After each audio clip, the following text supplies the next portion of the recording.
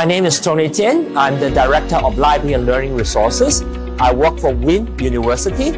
Uh, I feel really excited like, you know, to receive this award. My project is a metaverse museum. The objective of the project is trying to use a metaverse to promote uh, Vietnamese heritage and culture. We are really proud by, um, to create the very first open museum in Vietnam. People can access anytime, anywhere.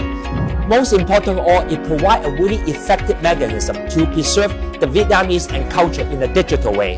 I'm really proud uh, to be here and to accept that award. I hope everybody will follow my suitcase and try really hard to promote digital production so that we have more digital content to help to benefit the Vietnamese community. Thank you very much.